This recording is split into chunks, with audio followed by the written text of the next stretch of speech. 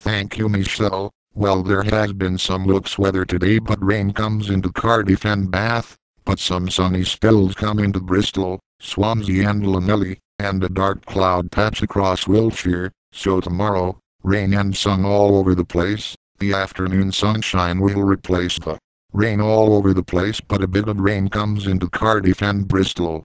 The temperatures, pretty much do like today 10 to 11 degrees, back to you Michelle.